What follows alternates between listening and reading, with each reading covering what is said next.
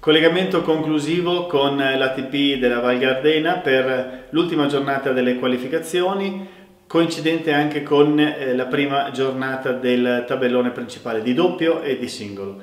Eh, nelle partite mattutine, negli ultimi quattro incontri del tabellone di qualificazione, si sono qualificati l'italiano Petrone, il ceco Hernic, il croato Sancic e il tedesco Langer.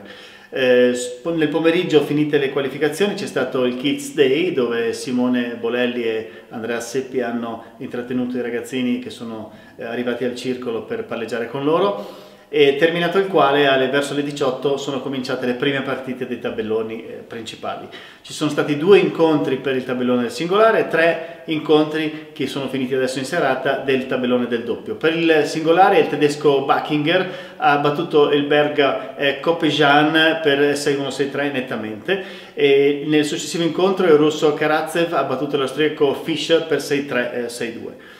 Finiti questi eh, incontri sono cominciati quelli dei doppi dove gli italiani Arnaboldi e Viola hanno battuto eh, abbastanza nettamente gli altoatesini Berger e Nicolussi per 6-4-6-2.